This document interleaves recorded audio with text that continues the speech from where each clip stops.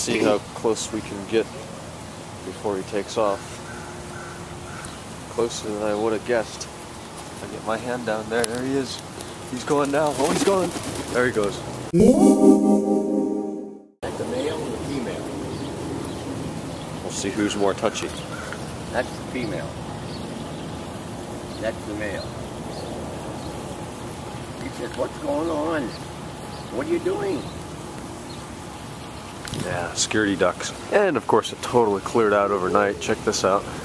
Freaking day. Again. A big one there. It's a better looking city than Cleveland, isn't it? Just a little bit.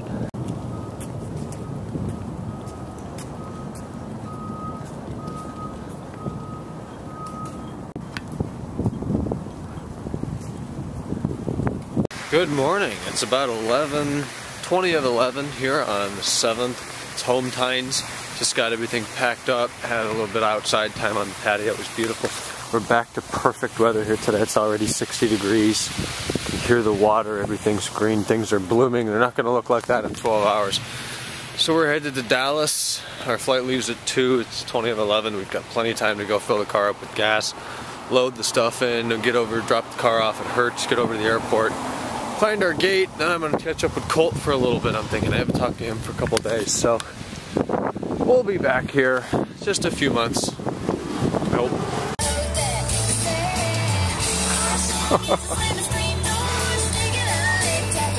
Welcome to Ksan. It is perfectal, perfectal, perfect out there. Perfectal's not a word. Got myself a bit of a drink here. We're rebooting my phone so it actually works. It is six after noon, so we have about an hour before we board, hour and a half. So we're just going to enjoy these beautiful skies and perfect weather out there. It is uncomfortably hot with what I'm wearing, and that is a bit dressy, the blazer and such. But you know, I like to prick it up and such.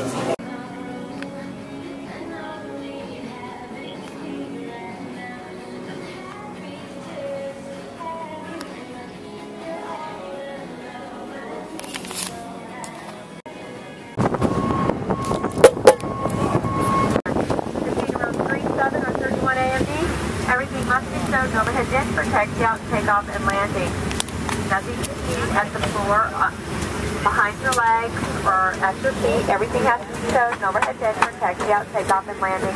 If you are seated in row 37 or 31 AMD. American Airlines has expanded overhead bins on the and outside zero and carry bags to.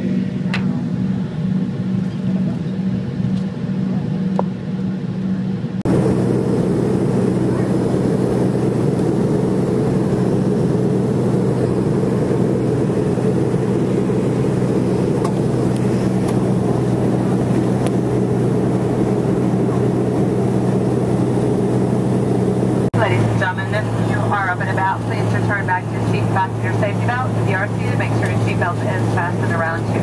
Thank you.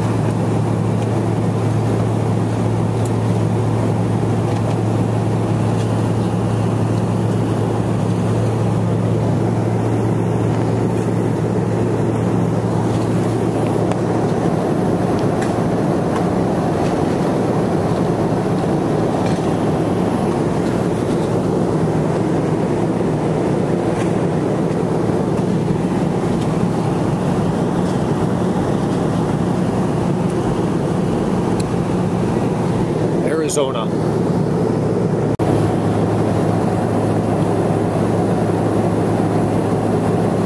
In between Tucson and Phoenix. Pretty cloudy. 31,000 feet, 489 miles per hour. And welcome to New Mexico. It's cloudier as frig.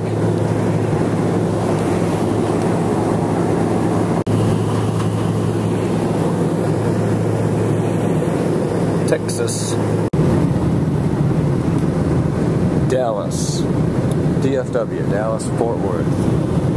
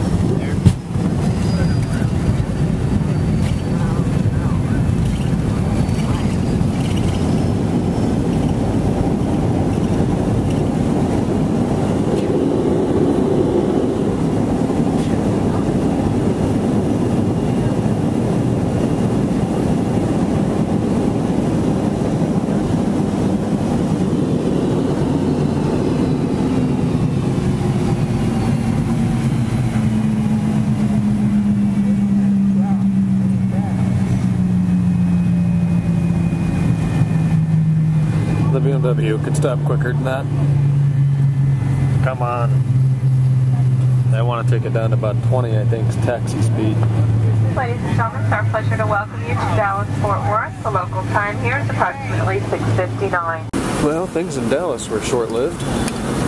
Now headed to Cleveland. It's 9.04 p.m. Cleburg time. 48 and cloudy in Dallas, 31 and clear in Cleveland. Dick Goddard would be proud.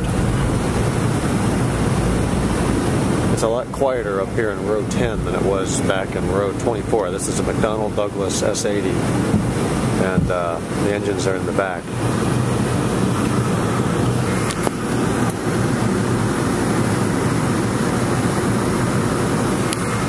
Goodbye, Texas. There is downtown Dallas. Uh, I know so little about Texas, I didn't even know it was on a river. There. That's downtown. I've seen it during daylight before. I guess I didn't notice a river. I was here in March 2012. Fort Worth is just a few miles out, but that's what Dallas looks like, boys.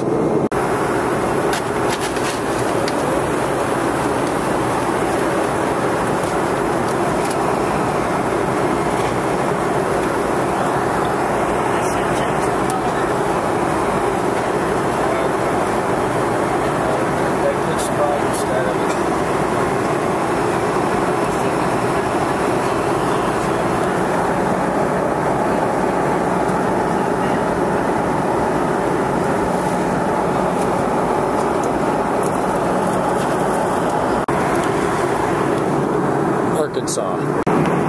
That light out there, that's city. Pretty sure it's Little Rock. Huh. So there's Arkansas, Little Rock, Arkansas. Welcome to Tennessee. Just not too far out of Memphis, actually.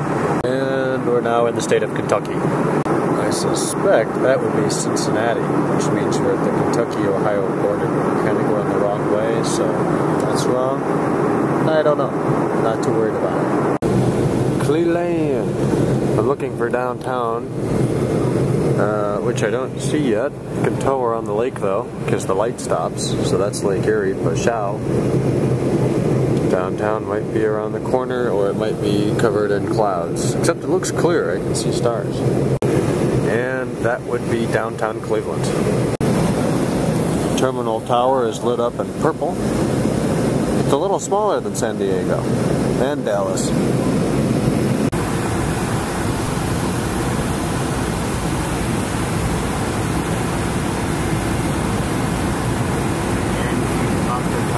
There's the NASA building. And Almost there. Back in the state of Ohio. A little rough. But we're on the ground. So, talk to you later.